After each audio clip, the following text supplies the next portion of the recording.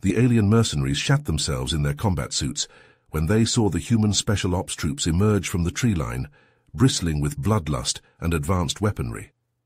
Commander Xenos slammed a fist on the control panel of the LMS Krathnar, nearly cracking the display. They expect us to fight those things for this pathetic amount of credits. It's a fucking death sentence. Captain Zax leaned back in his chair, metal arm whirring. So what are we going to do, Commander? We already took the client's money. We're leaving, Xenos growled. I don't care about the contract. Let those spineless corporate pricks send someone else in as cannon fodder. Xenos thought back to the briefing. Their client, a megacorp trying to put down a colonial revolt, had assured them it would be easy. Just a bunch of farmers and miners with small arms, nothing serious. In and out, with 500 battle-hardened Lurians in power armor. But then they'd landed and seen them. Fifty humans in midnight black suits that seemed to drink in the light. Their weapons looked more like arcane scepters than rifles. The sight had turned Xenos's blood to ice. This was no unruly mob. These were killers, the kind you heard whispered about in seedy station bars. These weren't humans, they were demons. What about the collateral? Zax said. If we bail, the client might send mercs after us. Let them try, Xenos spat. Better that than getting turned into a human's wall trophy. He hit the ship-wide comms. All personnel, prepare for immediate dust-off. Forget the fucking contract. We're getting off this spirits-forsaken rock. Protest erupted from the crew. They needed this payday. Xenos cut them off. I'm not letting you die for pocket change. The client fucked us, and I'm unfucking us. If you want to fight those things, you can damn well fly down and try. I'm leaving. Now get to your stations or you're swimming home. Zax exhaled. I hope you know what you're doing. So do I. Xenos watched the humans melt back into the shadows as the ship shuddered, rising on columns of blue fire. So do I. Xenos stared into the void outside the cockpit glass as the Krathnar broke atmosphere. His eyes saw the stars, but his mind was still stuck on that fateful encounter. It was unbelievable, Zax. Those humans, the Astar, they didn't even flinch when our troops lined up on them. Five hundred of the galaxy's most ruthless bastards, a damn good tactical position, and the most advanced armor outside Council space, and they just stood there, calm as you like. Zax shifted in his seat. What, all of them, not even a ripple in the formation? Not a one. It was creepy as all fuck. We thought we had them dead to rights. They didn't even have their weapons up. And then their captain steps up and starts speaking perfect Lurian, accent and all, tells us to drop our guns and surrender. Oh, you're shitting me. Where do human learn to talk like us? Fuck if I know. But that wasn't even the crazy part. I laughed in his face, told him he had quite the quad on him, then ordered the boys to light him up. Xenos's voice dropped to a whisper. And then... Then he said something, Zax. One word, in a language I'd never heard before or since. And you know what happened. Zax leaned forward, metal hand gripping his armrest. What? Every single gun went dead, locked up, no power, no nothing. It was like he reached out and crushed the power cells in his fist. I've never seen tech like that before, never even heard of it. Zax's mechanical fingers clenched and unclenched, servos whining. How in the seven hells is that possible? What kind of... You think if I knew I'd be running with my tail between my legs? All I know is in that moment, staring down a human who'd just made fools of us without lifting a finger, I knew we were in over our heads. We weren't facing soldiers, Zax. We were facing something else. Something new. Xenos fell silent, gaze distant. Zax said nothing, his own mind reeling. He'd heard the rumors about the Astar, the ghost stories told by grunts and mercs who'd had one too many. He'd always dismissed them as drunken horse shit.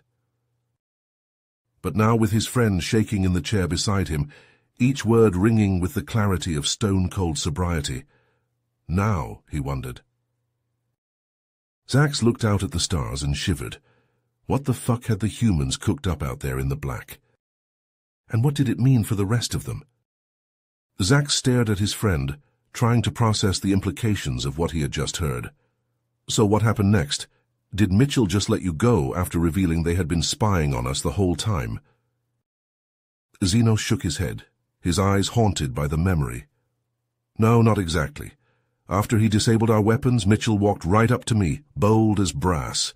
He had two of his soldiers with him, flanking him like an honor guard. And let me tell you, Zax, up close, those Astar boys are even more unsettling.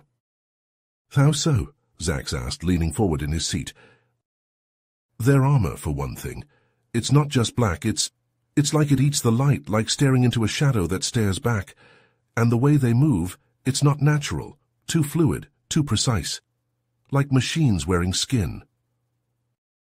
Zax suppressed a shudder, his metal hand clenching reflexively. And what did Mitchell say when he got to you? Xenos laughed, a harsh, bitter sound. Oh, he was real polite. Said his unit had been watching us since we entered the system, tracking our every move. They knew exactly who we were, who we worked for, and what we were there to do. Fuck me, Zax breathed. They were on us the whole time? Looks like it. And here's the kicker. Mitchell said they didn't want to fight, that if we packed up and left they'd let us go, no hard feelings. But if we stayed... Xenos trailed off, his eyes distant. If you stayed, Zax prompted. He said there would be consequences, dire ones, whatever the fuck that means in human speak. And the way he said it, Zax, it wasn't a threat. It was a fact, like he was telling me the sky was blue or that plasma burns. Zax whistled softly. Cocky bastard, so what did you do? Xenos grimaced, his pride still stinging from the memory. What could I do? I asked him how they shut down our guns. Figured maybe we could salvage something from this clusterfuck, get some intel on their tech. And what did he say? The smug prick smiled at me. Actually fucking smiled. Said it was easy, just a little trick they cooked up, based on a flaw they found in our power cell design. A flaw they've known about for spirits know how long. Zax's eyebrows shot up in surprise. They knew about a vulnerability in our tech and didn't tell anyone. Why would they sit on something like that? Xenos gave his friend a grim look. Come on, Zax, you know why. It's what they do. They hoard knowledge, keep it locked up tight until they need it, and then they use it like a fucking hammer, right when it hurts the most. Zax nodded slowly, realization dawning. It's a tactic, a weapon. Exactly. And it's not the first time they've pulled this kind of shit. There's a reason the Council treads careful around them, why even the Krell think twice before fucking with Earth. The humans, they play the long game. They watch and they wait, and they strike when you least expect it. Zax sat back in his chair, his mind reeling with the implications. Spirits above, no wonder they're so feared. Feared, Xenos snorted, more like respected. Or maybe just treated with the caution you give a viper in the nest. You don't poke it, you don't provoke it. You just hope that when it bites, it bites someone else. The two mercenaries fell silent, each lost in their own thoughts as the stars streamed past the cockpit windows. The humans had outplayed them, Zax realized. They had outplayed them before the game even started. And something told him this was just the beginning, that there were more surprises waiting out there in the void, more human tricks and traps lying in wait. The question was, would the galaxy be ready for them when they finally sprang? Xenos's voice was heavy as he continued his tale. I couldn't believe it, Zax. My pride, my rage at being so easily outmaneuvered, it consumed me. I ordered the troops to draw plasma blades and charge to engage the Astar in close combat. I thought maybe, just maybe, we could catch them by surprise with a sudden assault. Zax leaned forward, his organic eye wide. And what happened? Xenos shook his head, his gaze distant. It was over before it began. The moment my soldiers rushed forward, the humans... They moved like nothing I've ever seen, blurring, weaving, their own blades flashing out in arcs of shimmering black. They cut through our armor like it was parchment. He paused, his breath shaky. I watched, Zax. Watched as my troops fell one after another, their swords not even scratching the Astar's suits. It was like they were fighting wraiths, not men. In seconds it was done. I stood there, alone, surrounded by the bodies of my men. Zax's metal fist clenched. Spirits, Xenos, I can't even imagine. No, you can't, Xenos said softly.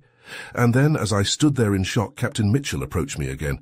His blade was dripping with Lurian blood, but his face, it was calm, as if he'd just finished a light training bout, not a massacre. Xenos's voice took on a hollow tone. He looked at me and he spoke, said my soldiers fought with courage but that we'd underestimated them, that we never had a chance, and then he gave me a choice. A choice? Zax asked. Xenos nodded. Surrender and be treated as a prisoner of war under human law, or... He swallowed. Or face the same end as my troops. It wasn't a threat, Zax. Just a statement of fact. Zax exhaled slowly. So you surrendered? I did, Xenos whispered. I dropped my sword and I knelt before him there in the dirt and the blood. Because in that moment, I finally understood what we were facing, and I knew with total certainty that to fight further would be suicide. He looked at Zax, his eyes haunted. They beat us, Zax, completely and utterly, and they did it without breaking a sweat. So tell me, my friend, what do we do against an enemy like that? Zax stared back, his expression grim. I don't know, Xenos. Spirits help me, I don't know. Xenos fell silent, his eyes distant as he recalled the aftermath of his surrender. Zax leaned forward, his metal fingers tapping against the armrest. What happened after you surrendered? How did the humans treat you? Xenos sighed, his shoulders slumping. They took us into custody, me and the few of my soldiers who survived. I expected brutality, or at least cold indifference, but the Astar soldiers were professional. They tended to our wounds, provided us with food and water, basic needs. He shook his head. But I couldn't shake the feeling of unease, Zax. The way they looked at us, the way they spoke, it, was like we were insects to them. Curiosities, not threats. Zax nodded slowly. They had no reason to fear you, not after what they did. No, they didn't, Xenos agreed. And that's what scared me the most. As they transported us to a holding facility, I overheard two of them talking. They were discussing what would happen to us. He leaned back, his gaze fixed on the ceiling. One of them mentioned interrogation, said they'd squeeze us for info on our employers, then they'd turn us over to the council for trial. Zax's organic eye widened. The council, they're getting involved. Xenos laughed, a harsh, grating sound. Of course they are. We attacked a human colony, Zax. That's not something the council can ignore, not with the power the humans wield. He paused, his voice dropping to a whisper. But that's not the worst part.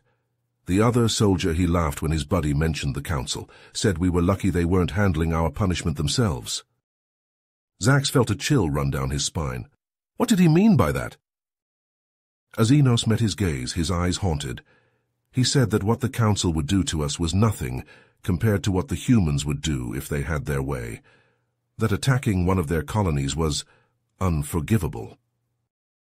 Zax sat back, his mind reeling. He had always known the humans were powerful, that they were not to be trifled with, but this, this was beyond anything he had imagined. So what do we do now?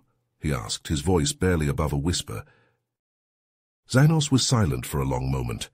When he finally spoke, his words were heavy with resignation. We pray, Zax. We pray to whatever gods we believe in, that we never find ourselves on the wrong side of humanity again, because if we do, spirits help us all. The two Lurians sat in silence, the weight of Xenos's words hanging in the air between them.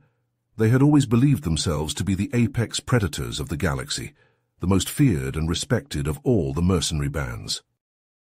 But now, faced with the terrible reality of human power, they realized they were nothing more than pawns in a game they could never hope to win. The humans held all the cards, and the Lurians. The Lurians were just another hand to be played. Zax looked out at the stars, his metal fist clenching and unclenching. The galaxy had changed, and they had been too blind to see it, too arrogant to realize that they were no longer the hunters, but the hunted. And the humans. The humans were the ultimate predators, silent, unseen, and unstoppable, gods among the stars, with the power to reshape the very fabric of the universe to their will. He shuddered, a cold sweat beading on his brow. What hope did they have against such an enemy? What chance did anyone have? You have reached the end of the story. If you enjoyed this story and want to support us, please leave a like and subscribe to our channel, and for every comment that says 88, I will heart every single one of them.